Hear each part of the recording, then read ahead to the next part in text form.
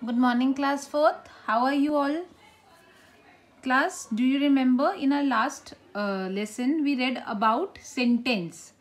I told you what is sentence. So, what I told you, sentence is a group of words that has complete meaning and make sense. जब हम कुछ words को साथ में लिख देते हैं और उसका कुछ सेंस निकलता है मीनिंग निकलता है उसे हम क्या बोलते हैं सेंटेंस और जो शॉर्ट सेंटेंसेस होते हैं जिनका मीनिंग तो निकलता है लेकिन वो पूरे कंप्लीट सेंटेंस नहीं होते कैपिटल लेटर से ज़रूरी नहीं है स्टार्ट होंगे। वो होते हैं phrases do you remember very good sir this is your grammar book class C basic English grammar and composition we are starting our English grammar our chapter number two is sentence and phrases although i have already taught you about sentence and phrases, still i'll tell you few things. See, i'll tell you two, three things. First thing is about sentence. What did I tell you about sentence? That group of words which make a meaningful sense like Rohan is playing in the park. Okay? So you see these are some group of words. Group of words है ये. It is making a sense कि Rohan park में खेल रहा है. It is beginning with a capital letter and it ends with a full stop. Therefore, this is a sentence.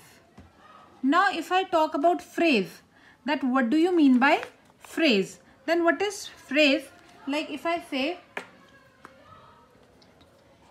in the box, box में ठीक है ये भी एक मतलब निकल रहा है कि हाँ बॉक्स में किसी ने बोला वेयर इज़ योर पेन मैं बोलूँगी इन द बॉक्स ठीक है ये भी एक सेंटेंस बन रहा है लेकिन ये कंप्लीट सेंटेंस नहीं है it is not beginning with a capital letter. So these type of sentences are known as phrases. Alright.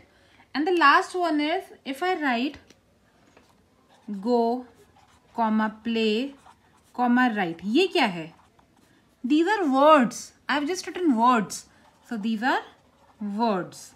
जब यही वर्ड्स हम ढंग से लिखते हैं जिसका कोई सेंस निकलता है वो सेंटेंस बन जाता है जब वो शॉर्ट सेंटेंस होता है, ज़रूरी नहीं है कैपिटल लेटर से स्टार्ट होगा तो वो फ्रेज होता है। और उन्हें अलग अलग लिखेंगे तो इट बिकम्स वर्ड्स तो ये पढ़ने के बाद we will come to page number three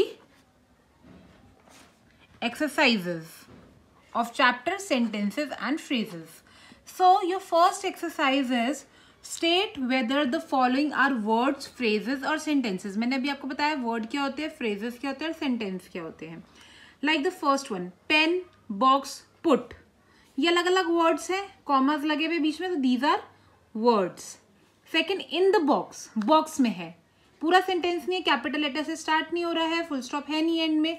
So this is a phrase then put the pen in the box pen को बॉक्स में रख दो. ये कुछ वर्ड्स का ग्रुप है, जिससे पूरा मीनिंगफुल सेंस निकल रहा है. It is beginning with the capital letter ends with the full stop there it is a sentence like I do fourth one for you on the ground ground में. ठीक है? Ground में. तो ये एक मीनिंग निकल रहा है, लेकिन एक कंप्लीट सेंटेंस नहीं है. So it is a phrase okay now rest of the part you will do yourself you will send it to me if you find any difficulty you can ask me okay now see come to question number B rearrange the words given below to make meaningful sentences ये words है jumbled लिखे jumbled मतलब first word last में last word पहले बीच में कोई और। आपको इन वर्ड्स को ऑर्गेनाइज करना है ताकि इसका एक कंप्लीट सेंटेंस बन पाए। सेंटेंस की स्टार्टिंग होगी कैपिटल लेटर से और एंड होगा फुल स्टॉप से। Like first one is play football I तो ये उल्टा फुल्टा करके लिखा हुआ है जम्बल्ड करके लिखा हुआ है। इसे हम सही से लिखेंगे।